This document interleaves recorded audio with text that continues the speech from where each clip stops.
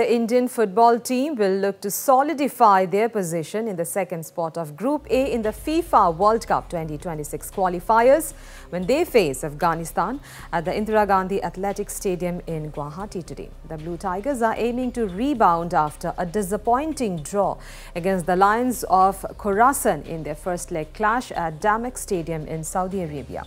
Despite a solid start with a 1-0 win over Kuwait, India faced a setback with 0-3 loss to Qatar in their second match back in November before their game against Afghanistan. Kuwait's recent defeat to Qatar propelled India to the second spot in the standings. The Blue Tigers are only behind Qatar in their group, who sit on top of the standings with a perfect record, having recorded three wins in as many games.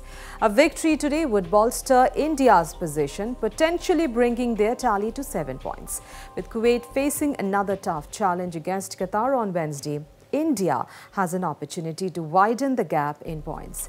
Meanwhile, Afghanistan, buoyed by the recent draw against India, will seek their first win in the qualifiers after heavy defeats in their opening matches to, to Qatar and Kuwait. However, securing a win against Afghanistan is vital for India's qualification hopes for the third round, a milestone yet to be achieved.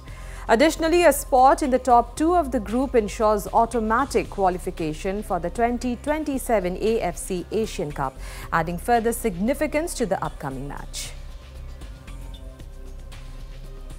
Now the last match we saw, a very good close match but do you think uh, converting the opportunities was a problem for Afghanistan? That is the area where you need to improve conversion the, of the opportunities. Uh, to be honest, if you see the first minute, we got a penalty. They didn't give the penalty, so it was something that if they get the penalty, the, the result was going to be changed, different. But yeah, we're looking forward to to have the same type of opportunity, and hopefully we can we can get a good result in the in the next game. The, it, it, it affect it affect the home home the home advantage affect always for the for the teams that do playing at home. But we are ready because this is not for the first time we play in India. We play few times in India against India, and we we were close. We were close. So we are looking forward for tomorrow game, and let's see. Hopefully, we can we can stay on the game plan and we can see what we can we can deliver. Notably, today's match in Guwahati will be Captain Sunil Chhetri's 150th international appearance for the country.